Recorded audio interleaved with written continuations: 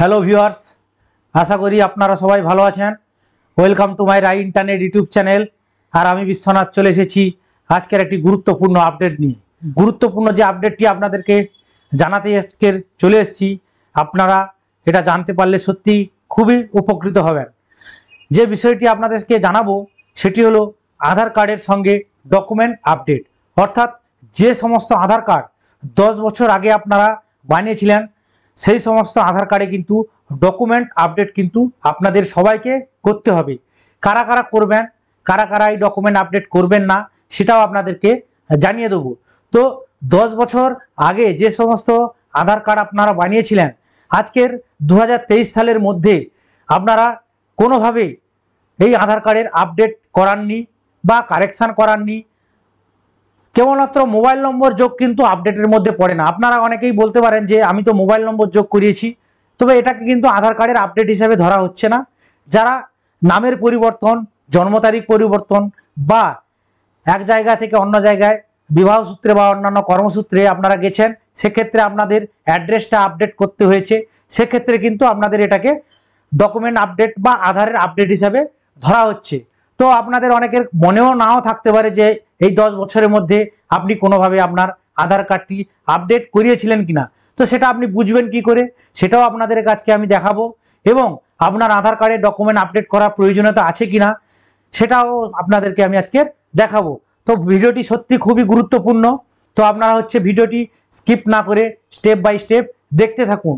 তো ইউআইডিআইয়ের তরফ থেকে আপনাদের একটি নোটিফিকেশান জারি করা হয়েছিল, যেটা হচ্ছে পনেরোই মার্চ দু হাজার তেইশ থেকে চোদ্দই সেপ্টেম্বর দু হাজার তেইশ তারিখের মধ্যে যে সমস্ত মানুষদের আধার কার্ড আছে আপনারা আপডেট করাননি, তাদের কিন্তু এই সময়ের মধ্যে কিন্তু ডকুমেন্ট আপডেটটি কিন্তু করে নিতে হবে। এই যে চোদ্দোই মার্চ থেকে চোদ্দোই সেপ্টেম্বর দু হাজার তেইশ তারিখ পর্যন্ত আপনাদের যে আধার কার্ডের ডকুমেন্ট আপডেট হচ্ছে, এটা কিন্তু আপনারা বাড়িতে বসেই অনলাইনের মাধ্যমেই কিন্তু এই ডকুমেন্টটি আপডেট করিয়ে নিতে পারবেন। সেটা কিন্তু আবার আপনারা চাইলে আপনাদের মোবাইল থেকেও করে নিতে পারেন এবং এক্ষেত্রে আপনাদের কিন্তু কোনো টাকা লাগছে না। সম্পূর্ণ বিনা পয়সায় এবং সহজেই আপনারা এই আপনাদের আধার কার্ডের ডকুমেন্টটা আপডেট করে নিতে পারবেন। সেক্ষেত্রে আপনাদের কিন্তু দুটো ডকুমেন্ট দিয়ে কিন্তু আপডেট করতে হবে। কীভাবে আপনারা আপডেট করবেন? আমি আমার একটি ভিডিও এর আগে অলরেডি আপলোড করে দিয়েছি।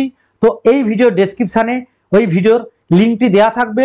আপনারা সরাসরি ওখানে ক্লিক করে আপনারা এই ভিডিওতে দেখতে পাবেন আপনারা কীভাবে আপনাদের আধার কার্ডে ডকুমেন্টটি আপডেট করবেন।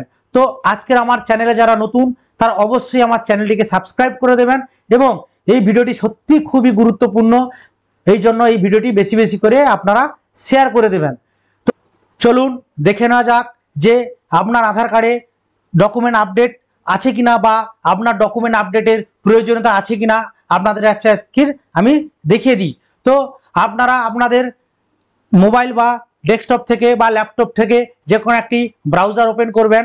ব্রাউজার ওপেন করার পরে আপনারা টাইপ করবেন my Aadhaar dot UI DAI dot GOV dot in বা আমার এই ভিডিও ডেসক্রিপশানে এই ওয়েবসাইটের লিঙ্কটি দেওয়া থাকবে।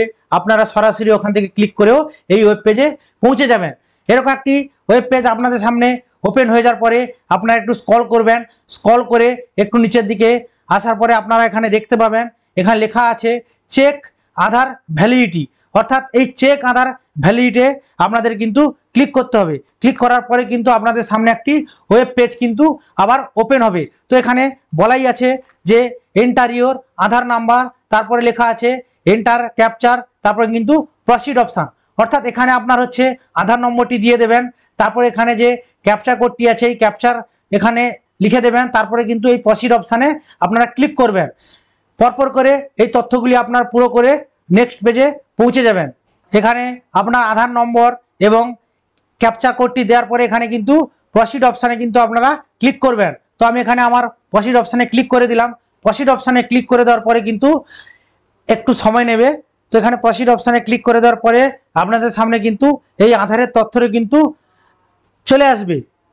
আপনাদের সামনে এরকম একটি পেজ ওপেন হয়ে যাওয়ার পরে আপনারা দেখতে পাচ্ছেন, আমি যে আধার কার্ড হোল্ডারের আধার নাম্বারটি দিয়ে এখানে আপনাদের সামনে দেখাচ্ছি, সেটা কিন্তু এখানে পরিষ্কারভাবে আপনারা দেখতে পাচ্ছেন। এখানে কিন্তু এজ দেওয়া আছে, যে আধার কার্ড হোল্ডারের এখানে আমি তথ্যটি দেখাচ্ছি।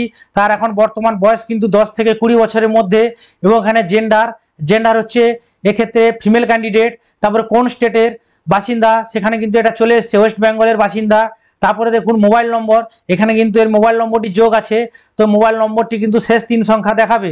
তো এবারে যেটা দেখার বিষয় আপনাদেরকে, সেটা হচ্ছে আপনাদেরকে দেখাচ্ছি, এর নিচে একটি মেসেজ আকারে কিন্তু একটা তিন লাইনের একটি কথা কিন্তু লেখা আছে। এখানে বলা আছে this Aadhaar number required document document তো ব্যাকেটের মধ্যে লেখা আছে proof of identity POI document এবং প্রুফ অফ অ্যাড্রেস অর্থাৎ পিওএ তো এক্ষেত্রে কিন্তু এই ক্যান্ডিডেটে কিন্তু ডকুমেন্ট আপডেটের কিন্তু প্রয়োজনীয়তা আছে। তো কি প্রয়োজনীয়তা আছে? সেখানে এটা বলা আছে, আপনাদের আগেই বললাম যে এখানে কিন্তু দুটো ডকুমেন্ট আপনাদেরকে এখানে আপলোড করতে হবে। সেটা হচ্ছে প্রুফ অফ আইডেন্টি অর্থাৎ পিওআই এবং প্রুফ অফ অ্যাড্রেস অর্থাৎ পিওএ এই দুটো ডকুমেন্ট কিন্তু আপনাদেরকে এখানে স্ক্যান করে কিন্তু আপলোড করতে হবে। তো এক্ষেত্রে আপনাদের আরেকটা কথা এখানে দেখাই যেহেতু এর ছোটবেলায় হচ্ছে আধার কার্ডটি করা, সেক্ষেত্রে কিন্তু এর বায়োমেট্রিকের কিন্তু আপডেট করার প্রয়োজনীয়তা আছে। তো এক্ষেত্রে প্লিজ ভিজিট নিয়ারেস্ট আধার সেবা কেন্দ্র। অর্থাৎ যে ক্যান্ডিডেটের আমি এখানে তথ্যটি আপনাদেরকে দেখাচ্ছি, যেহেতু এ ক্যান্ডিডেটের ছোটবেলাতে এর আধার কার্ড করা হয়েছিল, সেক্ষেত্রে এর বায়োমেট্রিকেরও প্রয়োজনীয়তা আছে। যেটা মূল আপনাদেরকে বলা, যেটা হচ্ছে ডকুমেন্ট রিকোয়ার্ড ডকুমেন্ট আপডেট অর্থাৎ এখানে যে আধার নাম্বার এই আধার কার্ডের ক্ষেত্রে কিন্তু ডকুমেন্ট আপডেটের কিন্তু প্রয়োজনীয়তা আছে। তো আপনাদের কিন্তু যদি আধার নাম্বার দিয়ে যেভাবে আপনাদেরকে পদ্ধতিতে বললাম, ওইভাবে আপনারা আধার নম্বরটিতে দেখবেন। যদি এই রকম একটি মেসেজ আপনাদেরকে দেয়া থাকে, তো এই রকম মেসেজ যদি আপনাদেরকে দেয়া থাকে, তাহলে অবশ্যই কিন্তু আপনাদেরকে আধারের ডকুমেন্ট আপডেটের প্রয়োজনীয়তা আছে। যদি এরকম মেসেজ আপনাদেরকে না দেখায়, তাহলে বুঝবেন আপনার আধার কার্ডে কোনোভাবেই ডকুমেন্ট আপডেট করার প্রয়োজনীয়তা নেই। তো আপনারা এই পদ্ধতিতে আপনারা দেখে নেবেন। লাস্ট ডেট কিন্তু আপনাদের খুবই কম আছে। চোদ্দোই সেপ্টেম্বর দু হাজার তেইশ তারিখের মধ্যে আপনাদের কিন্তু এই কাজটি করে ফেলতে হবে। যদি না ডকুমেন্ট আপডেট থাকে, তাহলে চোদ্দোই সেপ্টেম্বর দু হাজার তেইশ তারিখের মধ্যে কিন্তু ডকুমেন্ট আপডেটটি আপনারা করিয়ে নেবেন। তো আশা করি আপনাদেরকে আমি বোঝাতে পেরেছি। যদি আপনাদের কোথাও বুঝতে অসুবিধা থাকে বা কোনো কিছু জানার থাকে, তাহলে আমার কমেন্ট সেকশানে গিয়ে আপনারা কমেন্ট করবেন। আমি চেষ্টা করব আপনাদেরকে সব দিক থেকে সাহায্য করার।